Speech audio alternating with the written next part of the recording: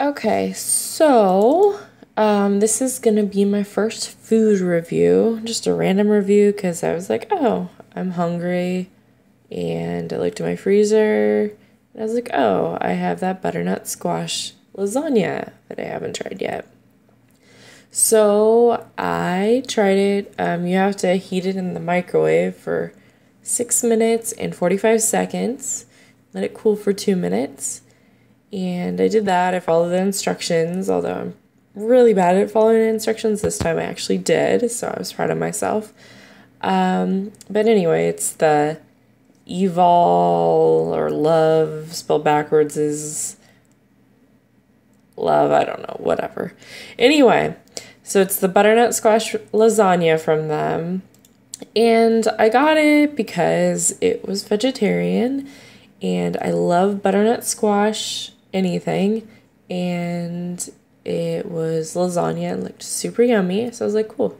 I'll just throw it in my freezer and I will eat it when I don't have a ton of time.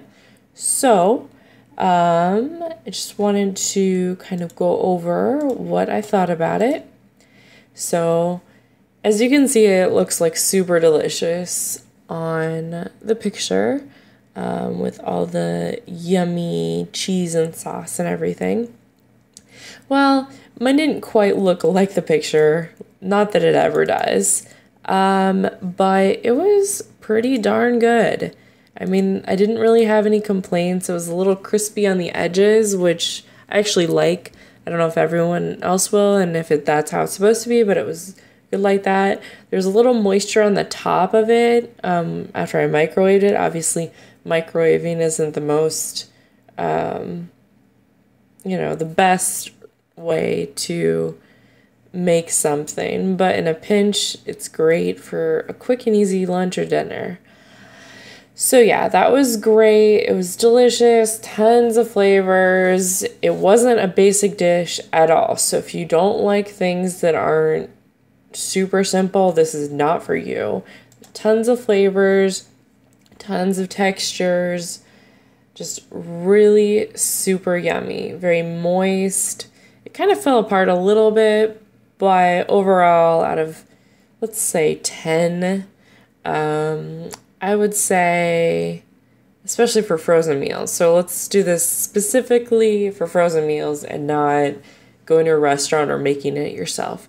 But for a frozen meal out of 10 score, I would say it's good 7.5. So I would get this again for sure as backup meal. So yeah.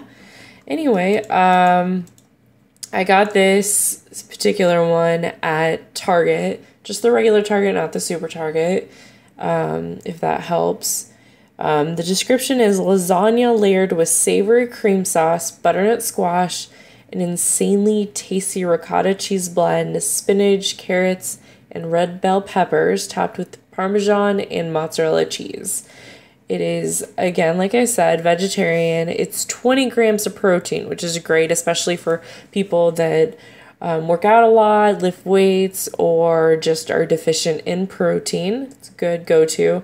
It only has 3 grams of fiber so if you're clogged up, you probably don't want to get this. Um, let's see, I'm trying to think if there's anything else. Um, 17 grams of fat.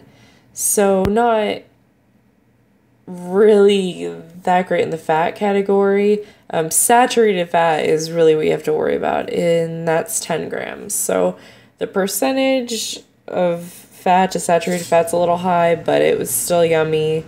Um, see, sugar, 7 grams, and sodium, 810 milligrams, with the total calories of 430. So, overall, not bad. And I get it again. All right. Thanks, guys, for watching my first food review. And I'm sure there'll be more to come just because I like to randomly do videos like this. Awesome. Thanks, guys. Bye.